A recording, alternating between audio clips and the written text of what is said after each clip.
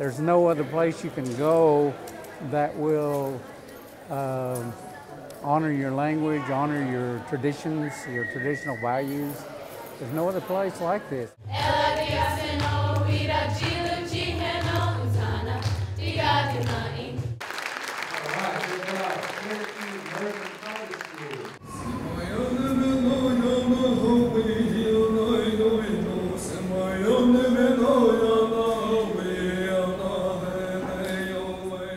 I learned those from like my uncles and grandpas when I was going to uh, meetings when I was younger. I kind of knew them for a little while.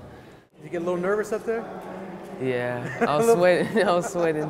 You were sweating. Yeah, How do you think you did? I think I did all right. And next year we'd be better. I'm taking a Cherokee class for the past two years, and uh, my teacher, Mr. Foster, he encouraged me to come out here and see what his uh, Indian tribe is about and uh, to get to know the culture better. So uh, I took time out and come out here and see what it's like. You know, it's cool, you know, coming from being a kid from the Bahamas, you never even thought that there's language like this, you know. So just coming here and this is a good, great experience for me and uh, just hearing the different how they talk and how they speak and how they have different, you know, different uh, articulations on their words. Uh, seems cool and uh, makes you want to like, you know, get deep in it. But uh, I wish I had a lot, lot of time on my hands to do that, but I really don't.